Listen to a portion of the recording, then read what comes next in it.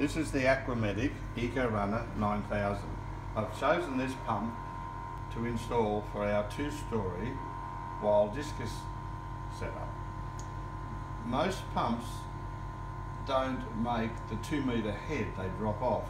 So this is a very good example of a pump that will, it'll give me a dual so that I break the surface and force the food or the waste down the drain off the bare bottom on both tanks.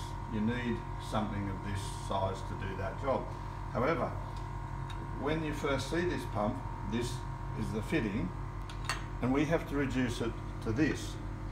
25 millimeters okay for salt water, but in discus we want a bit more direct, so we run to 19. So this then is the overall, the, the pieces that you need.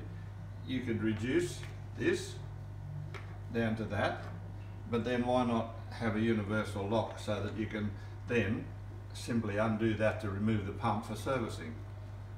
But basically that's that's what you need to get from here to here and you just need to go to your hardware store to do that.